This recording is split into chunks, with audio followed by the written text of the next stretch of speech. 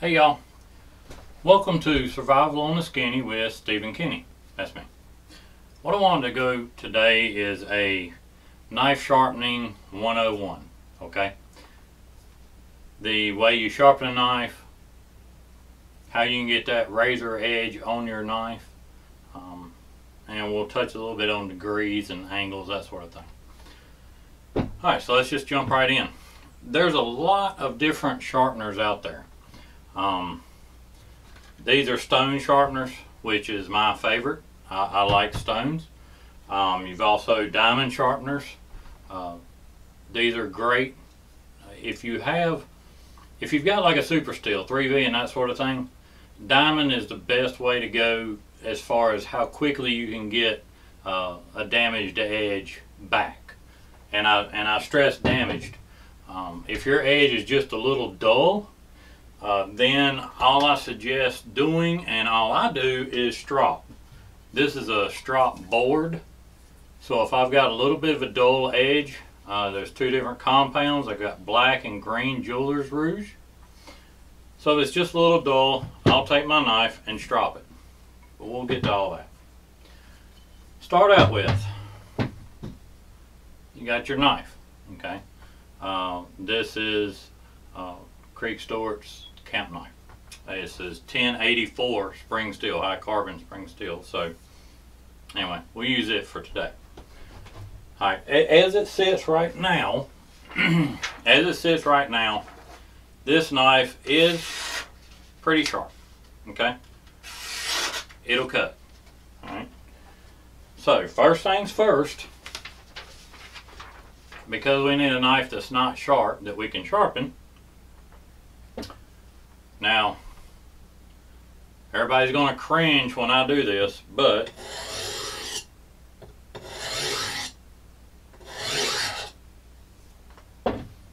okay. Now I can't even cut the paper with it.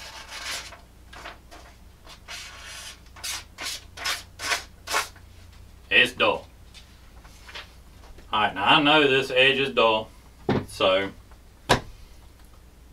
Looking at the edge, it's dull, but it's not damaged. There's no chunks missing out of it, anything like that, but it is dull. I'm going to start off with a medium. Now this stone, this Smith makes this. This is their Tri-Hone. So you've got coarse, medium, and fine. Okay. Coarse, if you're if your blade is damaged, your edge is damaged, you'll want to go to coarse. Our edge isn't really damaged, it's just dull, so we can start off with the medium. Before you start sharpening anything, you need to find out what degree or what angle this edge was ground at from the factory. Okay? Now, to do that, You'll want to lay your knife down, pick it up till you feel the bump. When you feel it kind of bump over, you know that's the angle that this was filed at from the factory. Okay. If you're unsure and you don't know what angle and you don't feel the bump, take a Sharpie magic marker, color the edge, okay? Just color the edge of the knife. Once you've colored the edge, if you don't feel the bump, you can go ahead and, and work it. Now using one motion, starting at the heel, and going to the tip. Then I can look and see, and I can see that I'm actually removing that magic marker. So I know I'm holding it at the right angle okay? You're going to want to sharpen this 10 times on one side. Turn it over.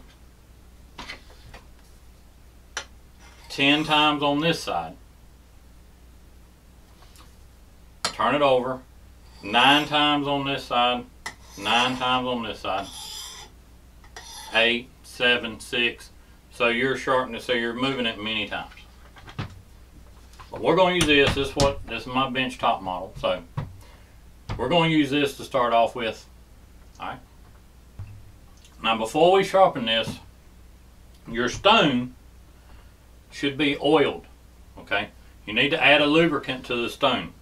Now, if you use oil, whether it's Smith's, uh, Lansky makes a great oil, whether it's diesel fuel, kerosene works, but I don't recommend it. I like diesel fuel or a honing oil. You put oil on a stone, that is all you can use on that stone. A wet stone, much like this one here that I keep in my pack, which is very fine, it's only had water applied to it using water as a lubricant. Okay? If a stone has been has used water as a lubricant, you can go to oil and use oil on the stone. If you use oil on a stone in the beginning, you can only use oil on that stone. As we all know, oil and water doesn't mix, but if you've got oil on your stone, you can only use oil. Water will just come right off of it. The reason you lubricate a stone, you lubricate a stone so that the so that the little shavings of metal that's coming off your blade, they will kind of roll up and they will not clog the stone. Okay? If you don't use a lubricant, then as you're sharpening, the fine pieces of metal will actually clog the pores in the stone. So let's get this sharp.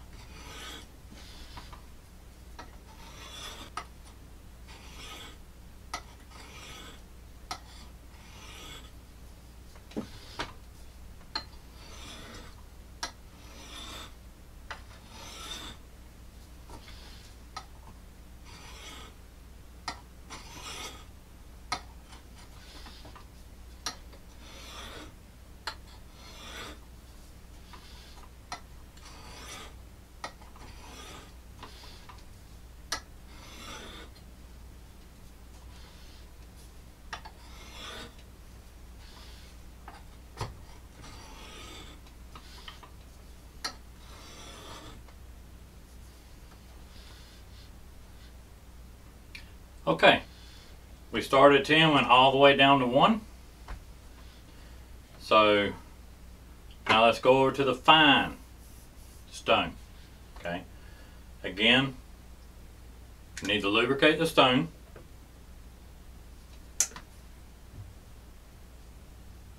Now when your when your stone is new, it will take a lot of lubricant. Uh, it, it will absorb a lot this is not a new stone and it's actually got quite a bit of oil already in it. So,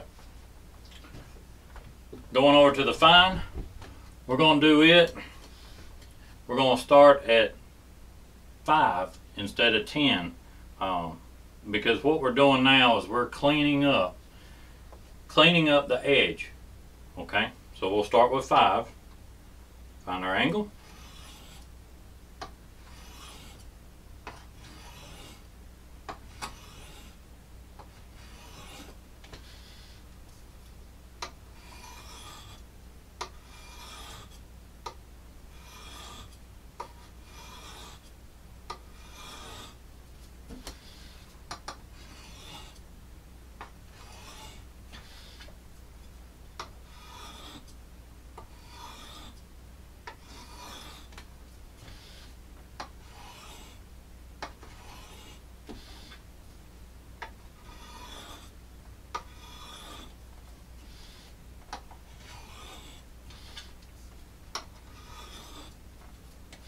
Okay.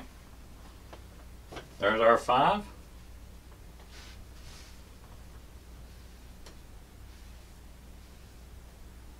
And then just take a look at the edge. See how you like it.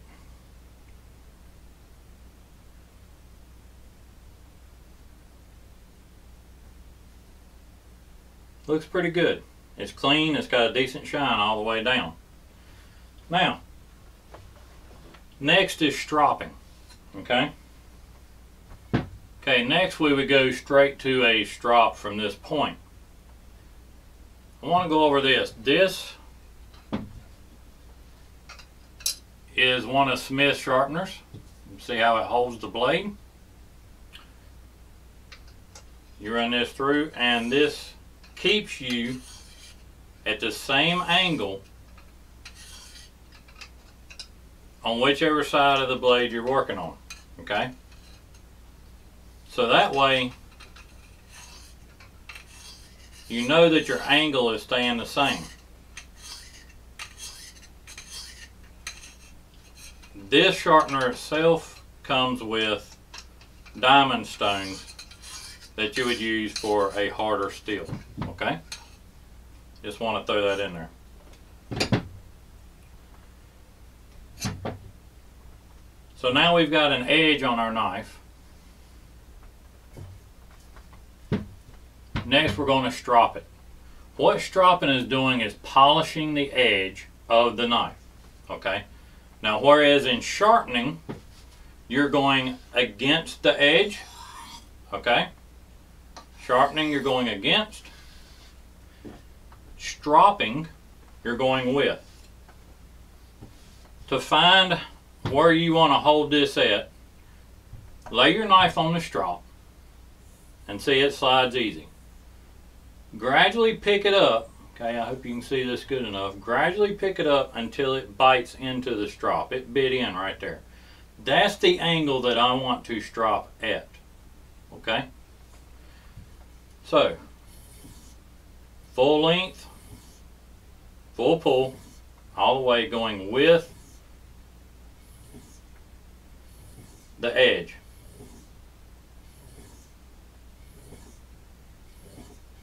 And you're going to do this on both sides same way.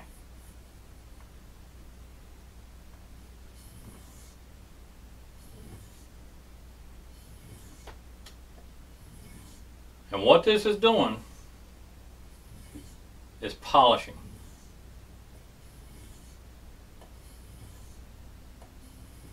Now I want to make something clear. You do not have to go the full length of the knife. You can just drop parts at a time, okay?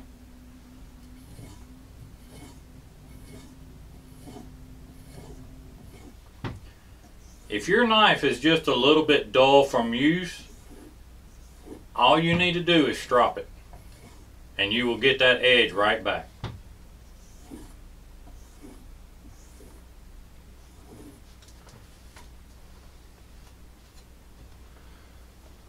Now just take a visual look at your at the edge. Should be a really bright shine. You get a real bright shine on there, then you've got that thing polished up. Using a magnifying glass if you want.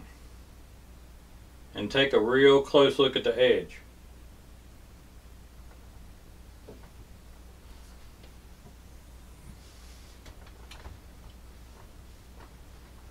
When you're sharpening, you're removing material. When you're stropping, you're just polishing that material out.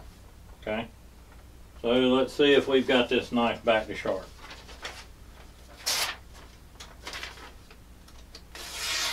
Yep. Y'all see that? It doesn't take long. Okay? And there's a lot of different sharpeners out there. Okay, uh, hopefully that's cleared up a couple of things. It's not, it's not rocket science okay sharpening a knife um, is is just you're removing the metal putting an edge back on your knife. Um, stropping is polishing the edge. Remember the old barber chair had that great big leather strap? And he took his razor and polishing that edge. That's where you get the razor from. I really like this for carrying in my pack. This is made by Worksharp and it's their field sharpener. It's got a coarse diamond side, a fine diamond side, a piece of leather that you can strop with, and a ceramic rod as well with a small ceramic rod here for serrated blades. This ceramic rod will change. You can turn it. You can sharpen fish hooks on it. It's got a coarse side and a smooth side. Okay. But this is, I carry this in my pack a lot of times. Um, I always at least have a stone. Just a little stone like this. Fine stone, just to bring the edge back. And then I wear a leather belt and I can use my belt as a straw. Like I say, there's many options out there. These, you know, you pull against the edge. Um, small diamond stones this style I'm sure you've seen before too is where you've got a straight edge where this sits here and you put your knife against the wheels and just pull it through. You know there's a lot of them out there. I encourage everyone to just get a stone, a stone sharpener. Learn how to sharpen a knife on a stone first. Learn what it takes just get some experience with it. And then you can move on to some, you know, some little pocket sharpeners and that sort of thing um, to carry with you in the field. Okay? Um, that's really about everything. Uh, one, one thing I do want to cover is how to maintain your blade. Uh, this is 1084 carbon steel. It will rust. So I use mineral oil. I use mineral oil to clean and maintain my blade. The reason that I use mineral oil on my knives, whether it's big knives, little knives, whatever, when I'm carrying my knife, when I'm carrying my knife with me and I'm backpacking with it, if I'm hiking with it, just carrying it, there's probably going to be a time I'm going to use this for food okay? Mineral oil is food grade. It's tasteless, it's odorless, and it protects from rust. So if I'm going to use this knife, and I'm in the woods, and I'm going to camp, I'm going to probably use this for cooking. I don't want to eat gun oil, or WD-40, or diesel. So I will clean my knives, always clean them, and keep them protected using mineral oil because it's safe to eat. Okay? I hope y'all learned something. I hope you got something out of this. Uh, comment below, like it, subscribe to my channel. Alright? Um, y'all have an awesome day and be awesome to each other. We'll see you later.